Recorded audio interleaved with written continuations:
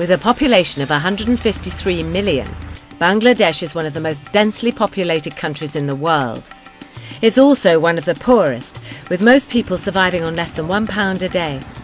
Natural disaster is an ever present threat, with water making up a fifth of the landmass and seasonal flooding cutting off thousands of villages.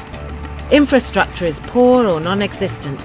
There is no electricity or telephone, and for many, the nearest clinic is hours away. To most, education is a dream.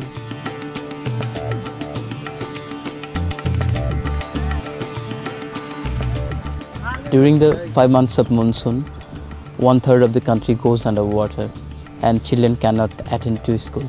I thought if the children cannot go to school, then the school should go to them. Founded by Mohammed Rezwan, the NGO Shidhulai Swanirvar Sangstha has come up with a novel solution and adapted local boats into classrooms so that those living in remote villages can study day or night.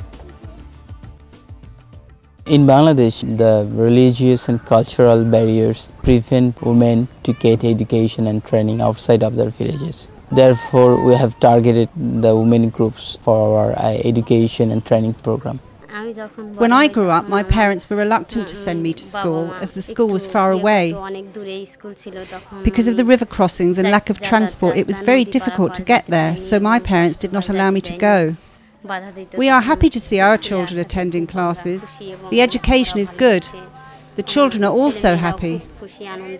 I like to study here. The teaching is good, and that is why I come to this school. Also at Doxatar village. I want to be a doctor. We started with one boat school, then considering the need of the people at the riverside areas, we had to increase the number of boats. Now we have 88 boats for boat schools, libraries and training centers, uh, along with uh, other activities. For the first time in their lives, rural Bangladeshis have the chance of an education, something they could only dream of before the arrival of these library boats. The benefits are already being felt. The women of our country face different types of barriers social, religious, and family. This is the main reason we cannot get education and training, and we cannot make ourselves self reliant. After this library came to our village, we started to believe in ourselves and we are able to overcome all the barriers. Those who couldn't buy books before, it caused them a problem with their education and they left school. Now we can get the books from this library. The boats use solar power and mobile technology to provide internet access and training to thousands of rural residents. Through video conference, I'm learning things that were unknown to me. The development in crops, I am getting an increased yield, more income, and helping the environment. As well as the online assistance, volunteers run training sessions on the banks of the villages, which gives women with young families the chance of attending. I've learned environment friendly agricultural practice from this boat. And I don't use pesticides anymore. And it's helped me get a better income. Female members are coming into the agriculture, taking control of their own land. Nowadays, their husband, husbands are listening to them. Uh, they are involved in the decision making process of their own families. Just 30% of Bangladeshi villages receive electricity.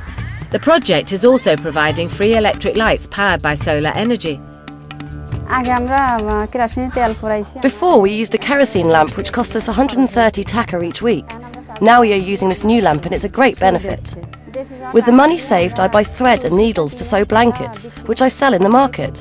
From the sale of the blankets, I can pay for the education of my children and also buy cows. The uniqueness of our approach is the simplicity. We are not providing uh, the solar panel to the beneficiaries, but we are providing batteries and lamp. They charge it on our boats. As the project builds trust with the community, other appropriate technologies can be introduced, like this locally made bicycle water pump. This pump has changed my life. Before, I only got one crop a year. Now I get three or four crops a year, and it's increased my income. We are reaching around 88,000 families, so it means around half a million people. Our project is mainly focused on education and improving livelihoods of rural people, but at the same time it is reducing the carbon dioxide emissions.